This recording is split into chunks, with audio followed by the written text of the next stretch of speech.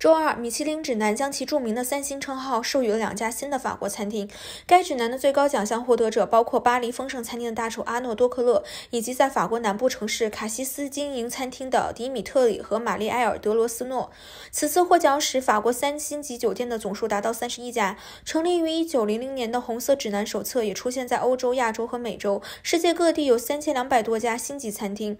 仪式在历史悠久、部分戒备森严的法国城市科涅克的剧院举。行，标志着在严格的卫生指导方针下，活动在二零二零年和二零二一年因新冠肺炎关闭而关闭了几个月后恢复。今年六名新厨师获得了两颗星，而四十一名厨师获得了他们的第一颗星。米其林在三月初表示，作为对莫斯科入侵乌克兰的回应，其世界著名的指南将暂停在俄罗斯的所有餐厅推荐。